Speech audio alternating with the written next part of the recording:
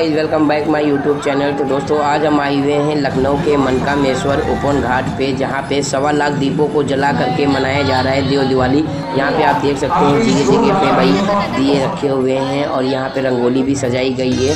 कार्तिक पूर्णिमा के इस पर्व पे विशेष तौर से देव दिवाली महोत्सव का आयोजन यहाँ पे किया गया है और काफ़ी जनसंख्या में लोगों ने हिस्सा लिया है और ओपन घाट पर दीप प्रज्वलित करेंगे।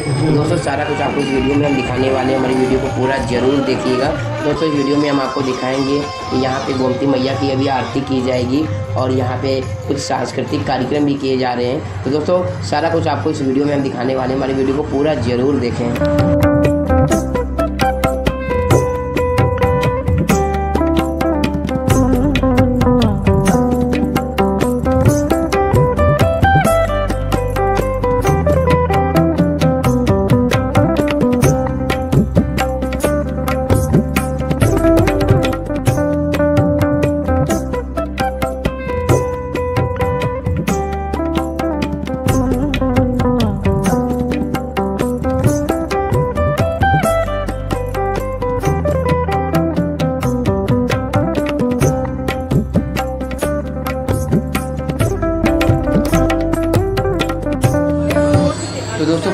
पूरी तैयारियाँ हो चुकी हैं और यहाँ पे दीप प्रज्वलित कर दिए गए हैं।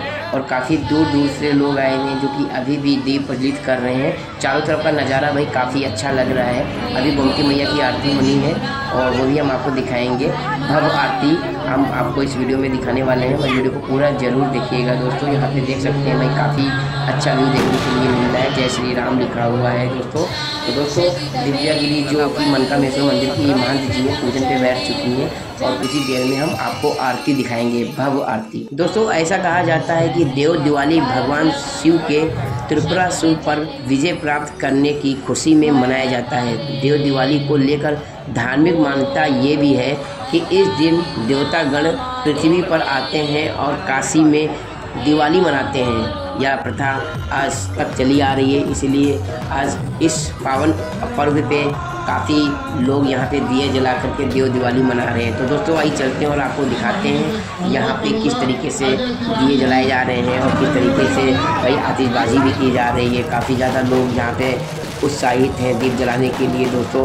काफ़ी दूर दूर से लोग आए हुए हैं। तो दोस्तों, आरती स्टार्ट हो गई है। आइए दिखाते हैं।